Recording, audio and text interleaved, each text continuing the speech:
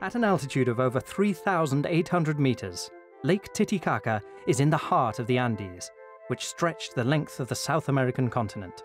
It sits on the border of Bolivia and Peru. 200 kilometers long, the lake is also the birthplace of Andean Indian mythology. The Uros used to live on the shores of the lake, but as the Inca Empire started to expand in the 14th century, they retreated to the middle of the lake to escape the fighting and slavery. They adapted to the conditions on the lake very well, thanks to the remarkable use they made of this aquatic plant, the totora. By being entirely self-sufficient, the Uros prospered and created a real civilization in the reeds, based on hunting and fishing. The fish that we catch and that our ancestors always caught is the carash.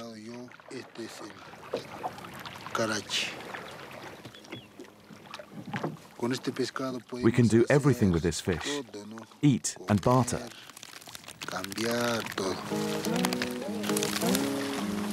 Felix lives on the floating islands of Lake Titicaca. The lake has provided for almost all his needs since he was born. If we want some fruit, we put out a churro and eat it. This white part from here to here.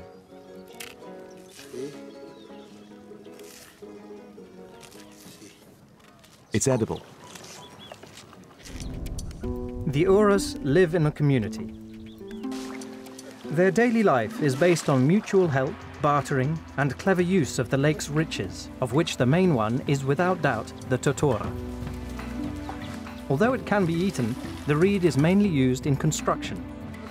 With totora reeds and knowledge passed down from their ancestors, the Uros build everything they need, starting with boats. To make a boat, which we call a balsa here, the totora must be gathered and cut in the fields where the totora reeds are very tough.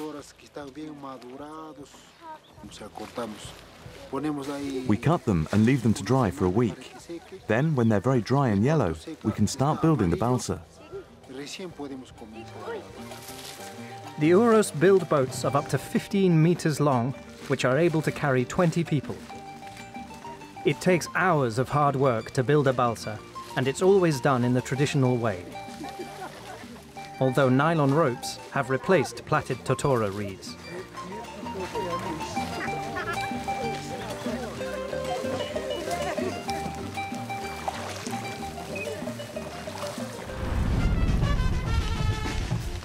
In a few days, a wedding will take place on the island, and it's traditional for the community to give the groom a balsa so that he can get around, fish, and hunt.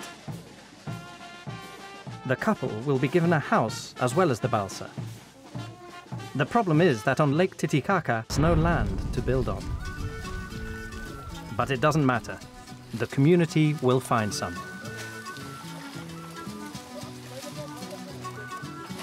The Totora reeds grow in a special way.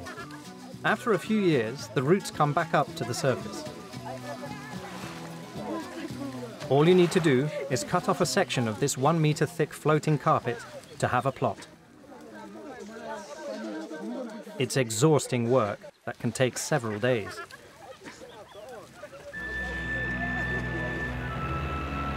Then, the little island is pushed by motorboats to the place where the bridegroom has decided to settle.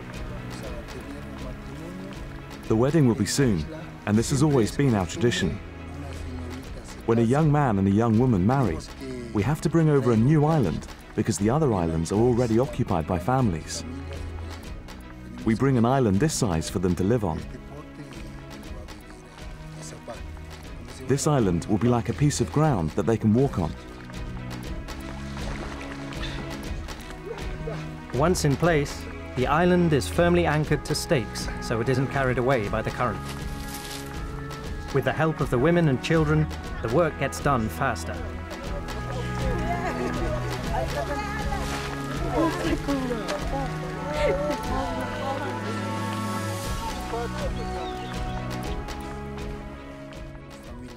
Here on the island, everyone has to help.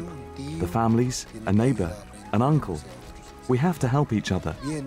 Normally, lots of people come. It's a law of the community. Although the Uros children learn how to build in the traditional way from their parents, they also go to school. Before going into lessons, they have fun sliding on the Totora floor.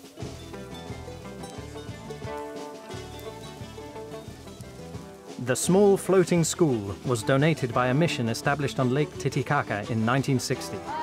Today, as there are no more subsidies, the parents managed to pay a teacher who is native to the islands.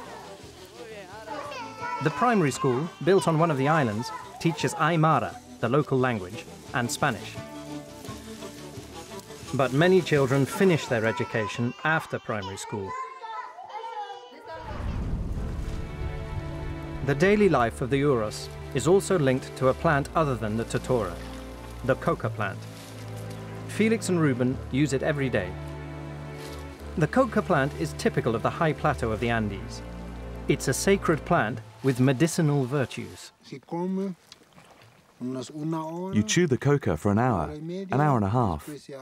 Then, when it's well chewed, you spit it out and have some more. It's a tradition. We've chewed it since our ancestors' time.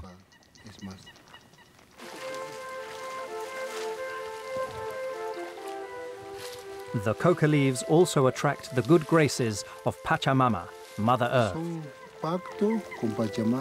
It's a pact that we make with Pachamama, and we pay the price with coca. We throw it in the water. She receives it and allows us to go. We respect that every time. We ask the lake for permission. For me, it's a sacred thing.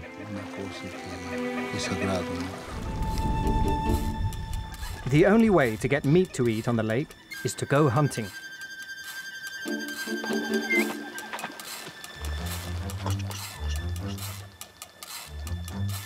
Felix's gun isn't exactly brand new, but he knows how to use it.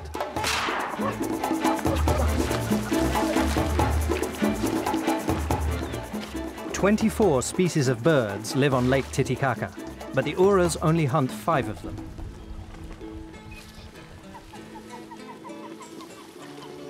The Uros on Lake Titicaca also improve their daily diet by collecting the eggs of birds that nest in the Totora. When we collect eggs, we prefer to check if there's a baby duck inside or not. To find out, we do this. If the egg sinks, there's nothing in it, no duckling inside. And if it floats, it's full. Nothing in it. It doesn't float. I'm happy with my life here. It's peaceful. No one bothers me. I live with the fish and the totora. If I want a duck, I can go hunting. I'm happy. I don't want to go and live anywhere else.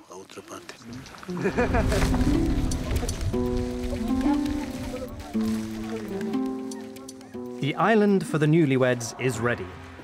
Now a house must be built for them. Wood, bought in the town with the community's money, will form the frame. The small house will then be covered with totora. We don't know how to build houses with two stories. The custom of our ancestors has always been to build small houses like this.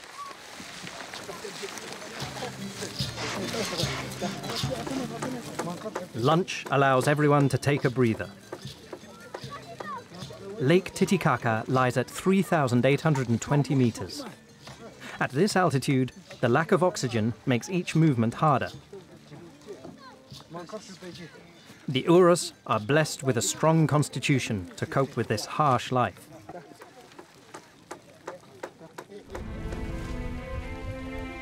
The time has come to cover the flimsy wooden structure with Totora reeds.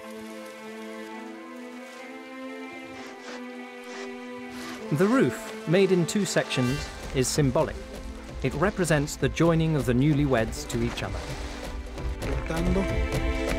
The two sections represent a man and a woman.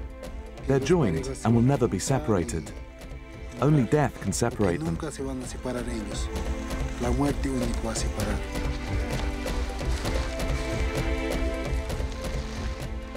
The couple will spend one month here in privacy. The house is now finished. All that's missing is the happy couple. It's the big day.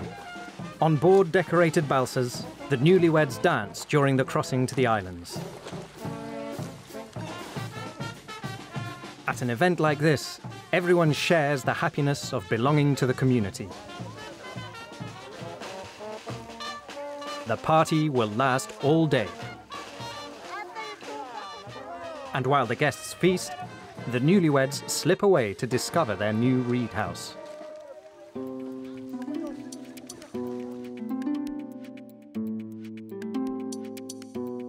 What happens next depends on them.